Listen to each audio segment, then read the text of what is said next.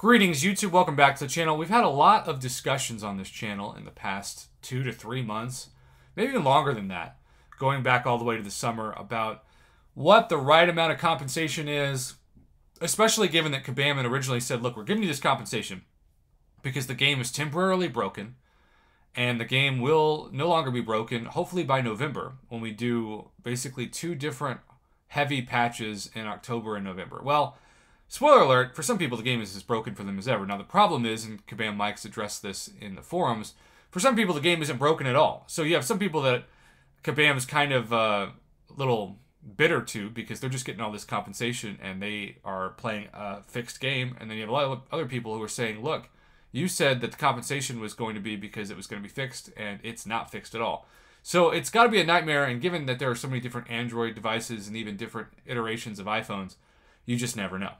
But with that being said, Titan 1897 reached out to me this week, and I'm finally able to take the time and have the time to cover this forum post about the continued gameplay issues and compensation. Now, he is so passionate about this that he has written up a forum post that I think uh, some people, maybe not everybody, you know, everybody can't agree on if the sky is blue at this point in our society. So, uh, but but a good portion of people might feel the way he has felt, and uh, we'll check it out, and you can decide for yourself. Hello, everyone. Hope you are you all are having a good day. As many of us know, the game is still having many bugs and issues for a long time now. We were told that by this month the bugs will be fixed, but they still haven't been fixed. And also new bugs are being found by many of us every week. While a good amount of us have left, as in left the game, many of us are still playing the game and supporting Kabam. We are desperately waiting for the game to be fixed and be in its glory again as how it was before. The MCOC player base is such that even though we face many difficulties on a day to day basis in the game due to the bugs and difficulty levels of the fights, we still hang on to the game because we like it. We think that Kabam understands us, but they don't. They get such a great player base, and what we get from them is number one, continued gameplay issues, which make content a lot more harder to complete. Number two, even more bugs as time passes. Number three, compensation, which isn't really compensation, but just a way for Kabam to make us quiet. We don't get the single player revives from them that we actually are supposed to get as compensation. I'm guessing he says that weekly because we do get a few monthly, at least the last two months when we've downloaded the new patch. We get the amount of revives and potions from them each month, uh, which is actually equivalent to a week's compensation. So he thinks there should be four times the compensation for those. And, you know, that's been a pretty consistent point for some people. We get side quests where the difficulty level is nowhere near the level of rewards we're getting after completing them. Now, this month I have not held back. It's the worst side quest of all time, at least in terms of difficulty versus the resources that you get. It's the exact opposite of Mutant Treasure Island, which remains my favorite side quest of all time. And I realize that not every month can be that kind of side quest, and every month can have even a, a side quest store where you can purchase certain items that you want. But this side quest just feels like it was a cash grab by Kabam with very little thought into the actual enjoyment of the experience and maximum thought into how you can just take people's money, especially when they're, say, fighting Weapon X. Number five, we are being kept in the dark of when actually these bugs are going to be fixed.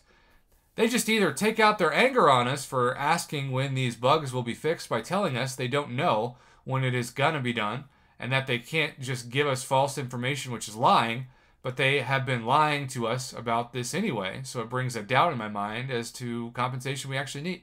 We just get an excuse for the fact that it seems like some players aren't affected by this, so they don't want to give compensation to them, which will be at their advantage. Now, obviously, that's true. If you give players more free stuff, they're more likely to spend their money because they feel like you care. That's what I've always said about Kabam and the small amounts of energy refills, potions, and revives that they're only willing to give once a month right now. They might think it's breaking the game, but Cyber Weekend is next week. The more potions and revives you give people that they can actually use and not just expire in their overflow, the more they're going to be like, you know, it sucks that the game is broken. And I really do believe Kabam, and maybe I'm a naive idiot for this, but I really do believe them that they've just thrown their hands up in the air at this point and saying, we really did think it would be fixed. We didn't think we were lying to you. We didn't think we'd tell you by November all this would be fixed. We just we we tried putting out the fire with everything we have, and there are still flames in the house. And un- unfortunately, in this analogy, the foundation has crumbled because so many people who made up the original foundation of the game have walked away, especially before Cyber Weekend. because they're not ready to give another 600 plus dollars to the game. All right. Now, I do understand that this current situation in the game is affecting all of us. Yes, the parrying controls issue may not have been affecting some players, but the bugs like the Icarus bug, now that's true, Alliance Quest timeout bug, special tap bug, etc., are affecting each and every one of us. So, Kabam, if you're reading this, know that I'm a huge fan of the game. And I get it that even you are struggling in fixing these bugs. But just tell us the truth of when these bugs will be fixed, or at least make the rewards of the side quests better and give us the compensation that we all need. Thank you for reading this message. So, you know, I would say I've read some messages before on this channel that have been uh, close to using the Kabam Mike like passive aggressiveness or even might contain some choice language. This doesn't have those issues. You know, and I, and I do think it's important for him to say in that last paragraph, I'm a huge fan of the game. Like, not only are we huge fans of the game, but we've spent so much money and time and effort. It's hard to walk away from something that you put that much uh, energy and money into. It just is. I know people who've done it and then they miss it and they just start a new account because it's like a part of them, right? Like there are some days, especially you arena grinders out there, who have to spend more time in the arena than you do sleeping, eating, talking with friends, family, significant others, etc. Like this is our lifestyle. And so when things hit the fan, it can be easy to be like, "Oh, I'm done with this," but it's actually hard to to break that cycle. And it's a casino, right? On top of that, it gives you that dopamine fix in your brain. But uh, Riptide here, agreed. Love the game. Hard to want to play. Diab Lord. Uh, agreed, agreed, agreed, kind of agree. They have told us they attempt a new March, April fix. Oh, I missed that. So they're saying it'll be fixed again in March and April? Well, since it's November. Um, so, some haven't completed any of the event quests, finding it a waste of time. No doubt. I just have to say this because there are going to be people who who see this video and every video like this and say, "Would people just stop whining? I'm tired of people complaining about the game. You know, just be thankful that that the game exists and that you know we have something. If you don't like it, don't play it."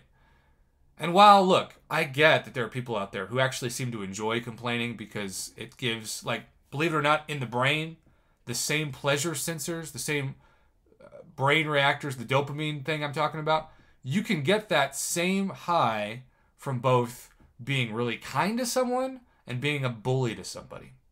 You know, if you see somebody out there who seems like they're like some self righteous, narcissistic bully that loves to tear people down, like say on the forums, they may not think about it because, you know, everybody is their own hero in their own mind. But they're addicted to being angry. They're addicted to causing drama. They're addicted, like they get a lot out of it. They get pleasure out of it. Their brain releases the same dopamine as like healthy pleasure. I'm not talking about this for those people. I'm just talking about this for everybody else.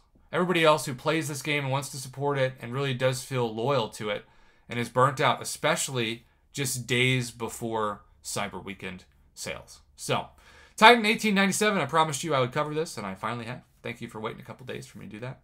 Uh, have a great rest of your weekend. Let me know in the comments below what you think. I, I, I think, you know, if they just gave that weekly compensation, of course, the glory not being in the Alliance Quest and Alliance War compensation kind of sucks too. But, you know, if they, if they just did that, I think players would be a lot more excited to actually give Kabam their money. If you give them an inch, they might give you a mile. You just got to give them an inch, you know?